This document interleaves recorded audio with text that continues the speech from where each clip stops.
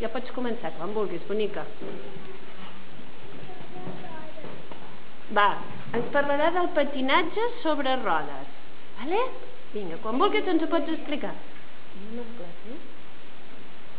Vinga. Què ens expliques del patinatge sobre rodes?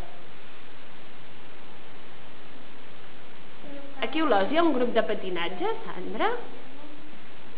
Quin és el grup de patinatge que hi ha aquí a Olòs? Me l'ensenyes?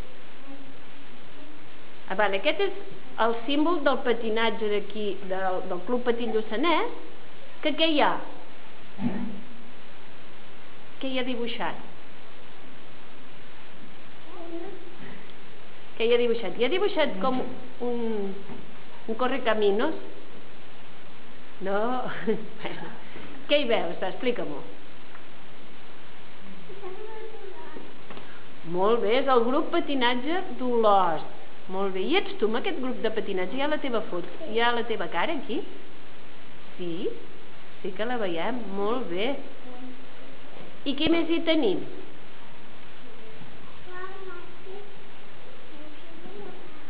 Val.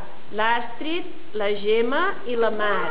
I el roc. I el Roc. Perquè aquesta foto era de la temporada d'abans, eh que sí? Que era de la temporada d'abans? De l'any passat. Molt bé. Molt bé. Què més ens explica, Sandra? Xxt. Què més ens expliques? És una foto del calendari. Per què és aquesta foto del calendari? Que fa un calendari al Club Patí Lluçanès. Sí. I qui surt aquesta foto d'aquests calendaris? I surt només tu? Val, totes les nenes que, so, que feu patinatge d'aquí a Olòs, eh, que sí? Que te- esteu en una foto. I llavors, altres mesos, doncs hi ha altres, altres nenes de, que fan patinatge d'altres pobles, eh, que sí? Molt bé. Què més, Sandra? De tot el grup, molt bé. El Club Petit Lluçanès, molt bé. Què és això? És el seu símbol.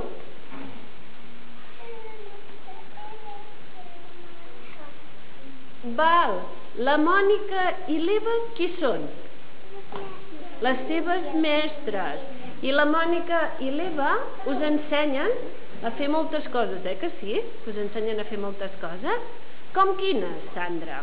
Xxt. Com quines? Us ensenyen a fer la cadireta i figuretes i moltes coses. Tu ens pots ensenyar, encara que sigui sense patins, una d'aquestes figuretes? Ens ho pots ensenyar?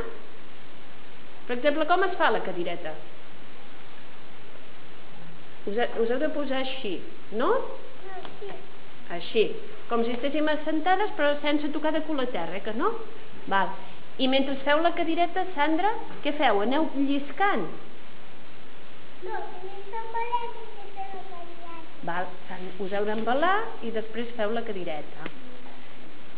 Que també feu la figureta de l'àngel?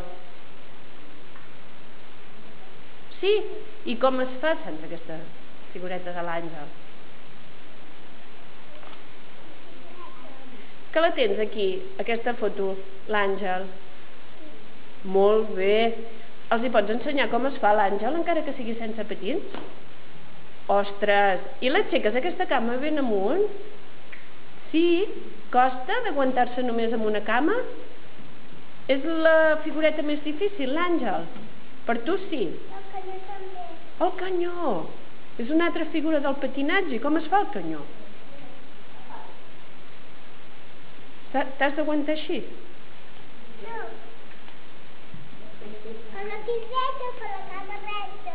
Val, és com la cadireta i és molt difícil, eh, tot això. I tot això amb, amb patins de rodes, no?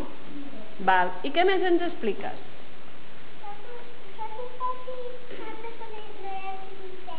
Val, és veritat, els patins necessiten un fre.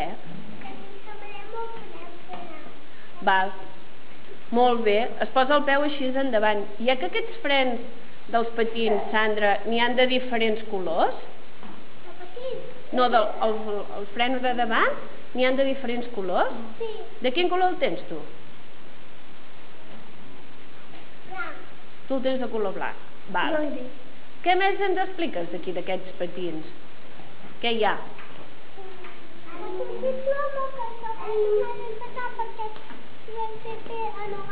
No. Val, és un diploma. Que ens l'ensenyes, aquest diploma? Molt bé.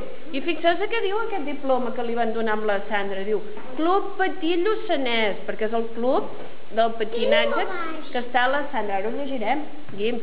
I diu, la Sandra Font Puigdomènec ha assolit al llarg del curs 2009-2010 el nivell mini, eh, que és el que li tocava fer a la Sandra perquè cada edat feu una cosa, que sí, i diu i amb aquest nivell ha fet la cadireta, ha, ha corregut endavant, ha fet les figuretes i coses d'aquestes, eh que sí? Molt bé. Què més ens explica, Sandra?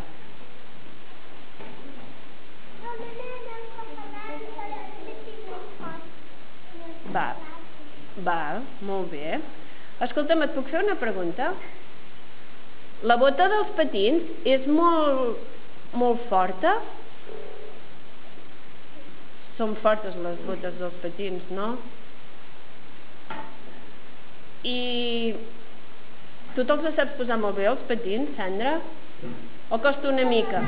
Te'ls ha de posar la mama, eh? Perquè costen una mica de posar els patins. I quant temps fa que patines, Sandra? Cada divendres. Cada divendres va patinar la Sandra. Quan sortiu d'escola us aneu a patinar. Molt A bé. la tarda. Fita. Quan aneu a Perafita? Avui. Val. I els hi pots explicar per què aneu a Perafita? Per què us toca anar a Perafita avui? Perquè farem patinatge allà. Perquè com volem tu faran, Perquè, perquè ti- farem el patinatge perquè llavors farem una cosa. Farem el carnestoltes. Val. Com que fan el carnestoltes aquí a Olòs, tapen el terra. Aquell terra que hi ha allà al pavelló el tapen. I llavors hi posen com una goma de plàstic i clar, no podria patinar la Sandra i totes les nenes que fan patinatges, perquè per patinar es necessita un terra molt llis, eh, que sí? Sí. Tu podries patinar aquí? Sí, segurament que sí. Eh? Què més ens explica, Sandra? Que has d'anar, que escolta'm, que algun dia d'aquests hauràs d'anar a Vic a fer un ball allà. Sí, eh que sí, que hauràs d'anar a fer un ball? Bueno, no sé si serà un divendres o serà un diumenge. Eh que hi hauràs d'anar-hi un dia? I escolta'm, Sandra, una altra pregunta. Quan tu vas començar, els primers dies, costava d'aguantar-te sobre les rodes, sobre els patins amb rodes? Et va costar molt? Sí, una miqueta. Només una miqueta.